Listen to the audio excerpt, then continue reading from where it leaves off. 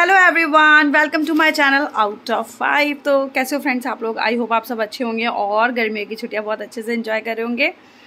तो आज है फ्रेंड्स थर्टी फ़र्स्ट मई और कल से जून स्टार्ट होने वाला है और मैं दो तीन दिन के अंदर अंदर जाने वाली हूँ उत्तराखंड। तो जी हाँ फ्रेंड्स जैसे कि छुट्टियों में सब अपने अपने गाँव जाते हैं तो मैं भी जाने वाली हूँ उत्तराखंड और आपको तो पता ही है, जब भी हम लेडीज़ें कहीं जाते हैं घूमने ज़्यादा दिन के लिए तो उससे पहले शॉपिंग ज़रूर करते हैं तो मैं वही करने जा रही हूँ फ्रेंड्स तो मैं मार्केट जा रही हूँ शॉपिंग करने।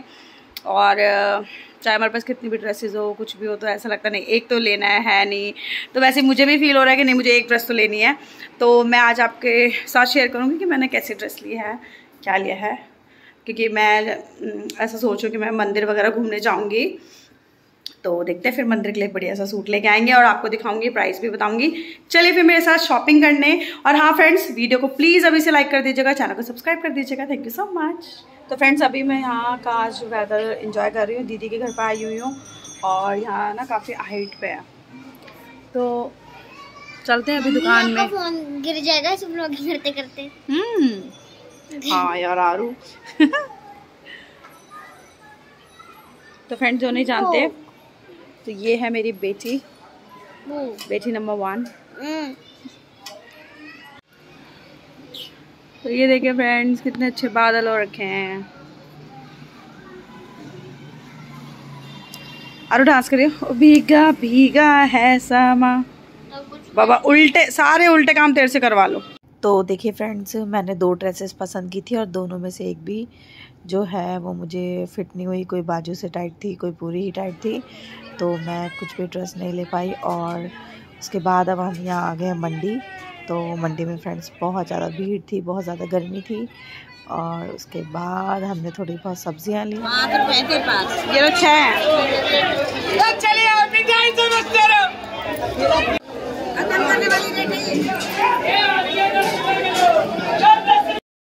तो फ्रेंड्स मार्केट में मुझे कुछ भी मेरे पसंद का नहीं मिला। जो दो चीज़ें मुझे, दो सूट इतने ज़्यादा पसंद आए थे, दोनों ही मेरे साइज़ के नहीं थे।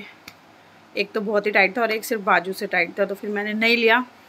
क्योंकि धुलने के बाद कपड़ा वैसे भी श्रिंक हो जाता है और उसके बाद फिर और ज़्यादा टाइट हो जाता तो फिर पैसे बर्बाद हो जाते। तो आज तो मैं कुछ भी शॉपिंग नहीं कर पाई और लेट भी बहुत हो रहा था।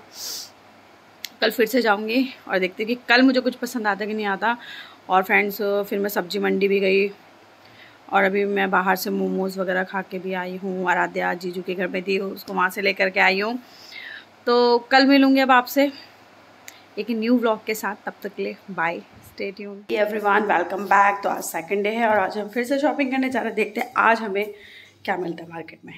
तो मार्केट हमारे घर से दूर थी तो हम ऑटो से चले गए फ्रेंड्स जिसे कि ई रिक्शा बोलते हैं। और उसके बाद देखिए यहाँ पे हमने आज थोड़ी बहुत शॉपिंग की पर मेन ड्रेस मैंने आज भी नहीं ली इसलिए मैं आज भी आपको दिखा तो नहीं पाऊँगी। तो देखिए यहाँ पे सैंडल्स तो मैंने इतनी दुकानों पर देखा और मुझे ब्लैक वाला बहुत अच्छा लग रहा था कम्फर्टेबल लग रहा था लेकिन इसका जो ये साइज़ है ये मेरे साइज़ का नहीं है फ्रेंड्स बड़ा चाहिए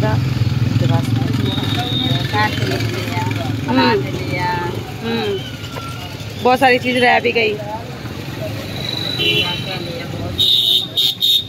नाइट सूट हरा देख लो शूज़ घर जा। हाँ टी शर्ट्स भी लिए, अब बाकी घर जाके देखेंगे। तो यहाँ पे फ्रेंड्स मैंने जो एक लिया था, शरारा तो जो कि सिर्फ़ वन एटी रुपीज़ का था और इतना अच्छा घेर था इसमें तो मैं इसे एक बार पहन के ट्राई कर रही थी तो ये वीडियो में मैंने यहाँ पे ऐड कर दिया। और इसके बाद फ्रेंड्स हुआ क्या कि आराध्य के जो शूज़ थे वो छोटे आए तो उसे बहुत ज़्यादा टाइट थे पैर में फिट ही नहीं होते तो मैं आराध्य को लेकर फिर से मार्केट में आ गई हूँ वो भी पापा के साथ क्योंकि काफ़ी लेट हो गया था ना और आराध्या पैदल चलने में भी वो और ड्रामा करती है। तो फाइनली मैंने आराध्या के शूज़ चेंज करवा दिया और आप देखिए उसने कैसे शूज़ लिए हैं। तो अब उसने लिए हैं फ्रेंड्स लाइट वाले शूज़ आई होप आपको आज का मिनी ब्लॉग पसंद आया होगा प्लीज़ मेरे चैनल को सब्सक्राइब ज़रूर कर दीजिएगा। Thank you so much bye